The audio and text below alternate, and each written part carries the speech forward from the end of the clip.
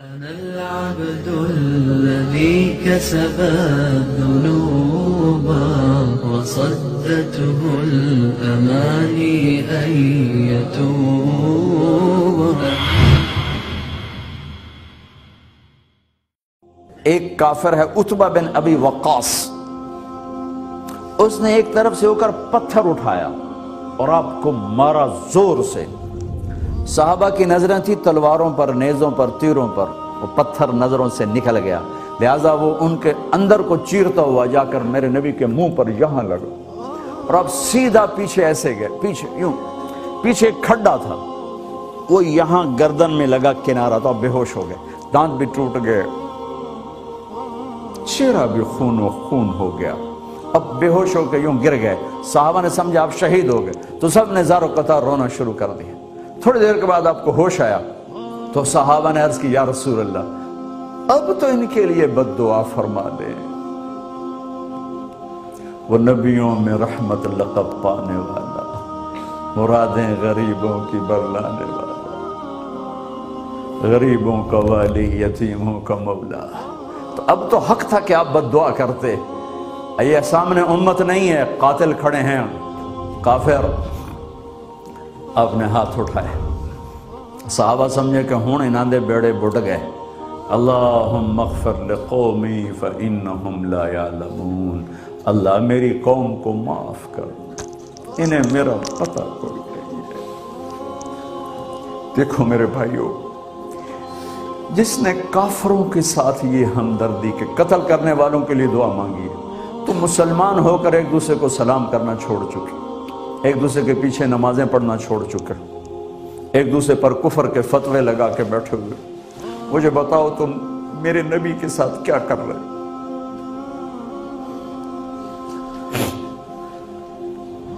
وہ تمہیں فرقوں میں بانٹ کر گئے تھے یا امت بنا کر گئے تھے؟ کیوں اس نادان کھیل میں اپنی زندگی برباد کرتے ہو؟ کیوں نے مسلمان بن کے رہتے ہو؟ اس امت میں اختلاف شروع سے ہے، ہمیشہ رہے گا۔ یہاں تک نہ جاؤ کہ ایک دوسرے پر کفر کے فتح جنت میں کون جائے گا سنیوں نے کہا وہابی کافر وہابیوں نے کہا سنی کافر بریلیوں نے کہا دیوبندی کافر دیوبندیوں نے کہا بریلوی کافر شیعہ نے کہا سنی کافر سنی نے کہا شیعہ کافر جنت میں کون جائے گا کچھ تو بھائیو میرے نبی کی محنت کی قدر کرو میرے نبی تو غیروں کو اپنا بنانے آئے تھے۔ ہم نے ہم نے اپنوں کو غیر بنا دیا۔ جو نفرت کی آگ وہاں بھڑک رہی ہے، یہاں مت بھڑکاؤ۔ جاؤ میرے دیس میں دیکھو کتنے سر کٹ چکے، کتنے سہاگ اجڑ گئے۔ کتنی مائیں بے آسرا ہو گئیں، کتنی جوان بیٹیوں کی مانگ ویران ہو گئی کیا اسی کا نام اسلام ہے؟ اسی کا نام عشق رسول ہے؟ اسی وہ دین کہتے ہیں۔ ایک دوسرے کی مسجدوں میں نہیں جاتے ہو، ایک دوسرے کے پیچھے نمازیں نہیں پڑھتے ہو۔ جنت کے ٹھیکیدار بن گئے ہو۔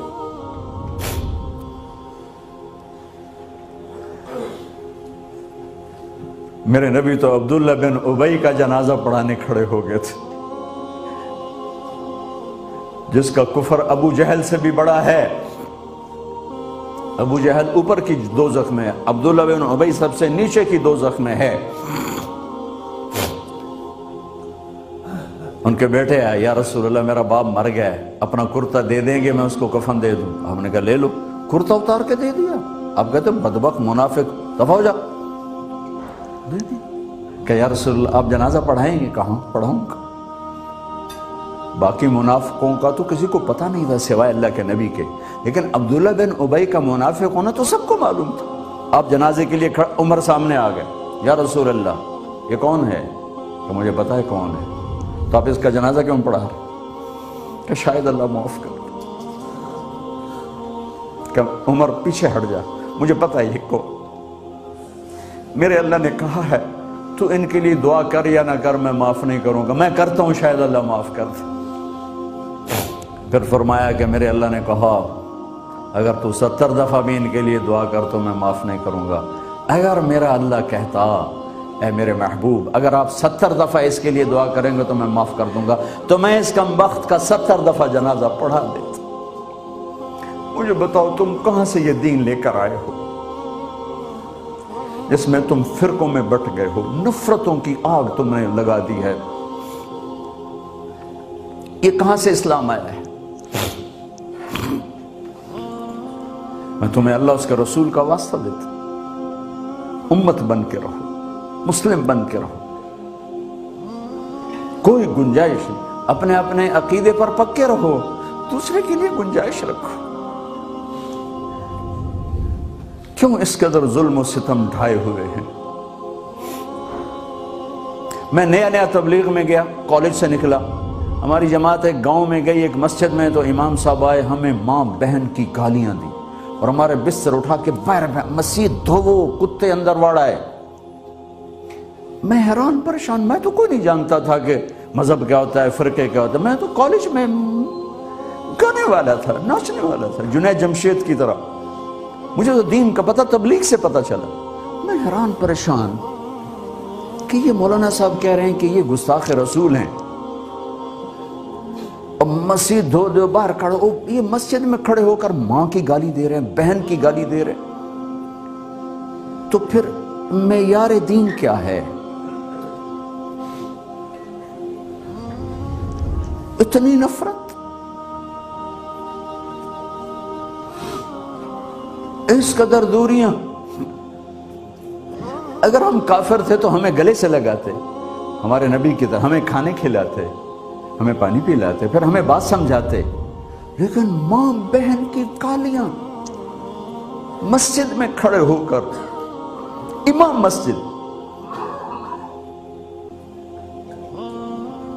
ہم پنجاب کے زمیندار ہیں، گالی دینا ہماری سرشت میں ہے، لیکن مسجد میں کانپ جاتے تھے کہ کسی کو الو کا پٹھا بھی کہہ دے۔ ہمارے بزرگ بڑے بھی بہت گالیاں نکالتے تھے، لیکن مسجد میں کسی کو ضرورت نہیں ہوتی تھی کہ وہ، میرا، میرے والد مرحوم خود بہت غصے والے بڑے سردار آدمی تھے۔ تو تھوڑی تھوڑی بات پہ مار پٹائی، گالیاں۔ لیکن میں نے نہیں اپنے باپ کو مسجد میں سنا غصے میں بھی کسی کو گالی دیتے ہوئے۔ ماں بہن کی گالیاں نکالو۔ استاد یہ کہہ رہے ہیں کہ یہ گستاخ رسول ہیں، ہم، یہ کافر ہیں، ان کو نکال دو۔ کتے آ گئے، مسجد دھو میرے نبی کے دور میں تو کافر آ کے مسجد میں رہتے تھے۔ میرے بھائیوں اس جو میں عرض کر رہا ہوں، میں اپنا دکھڑا بیان کر رہا ہوں۔ اس کی سنگینی کو سمجھو۔ یہ پونڈ ڈالر نہیں بچائیں گے جب ہم آپس میں ٹوٹ جائیں گے۔ میں، اللہ نے مجھے دنیا میں پھرنے کا موقع دیا، بار بار دیا، اسی تبلیغ کے سلسلے میں۔ سب سے زیادہ میں سپین میں جا کے دکھی ہوا۔ اور میرا دکھ یہ نہیں تھا کہ ہماری یہاں آٹھ سو سال حکومت تھی اور ختم ہو گئی۔ میرا دکھ یہ تھا، میں اس پہ رویا مسجد قرطبہ میں کہ جس وجہ سے اسپین تباہ ہوا، وہ ساری وجہ میرے دیس پاکستان میں موجود ہے اس وقت۔